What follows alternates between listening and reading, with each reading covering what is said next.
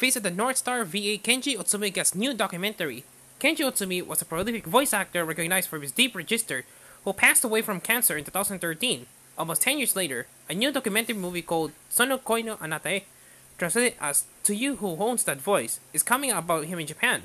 Ahead of the September 30, September 30 debut, a trailer has been released.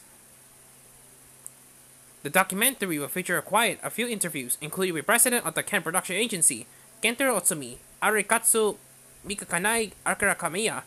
岸尾谷山、みしこ、のもら、れここあいだ、ませひろいと。けこすとだ、だダそソキナかカワナナミズキいイチヤマデラリオソギヤマアスミワキヒデカツ、しばた、みしおはざま、んマサコノザワ。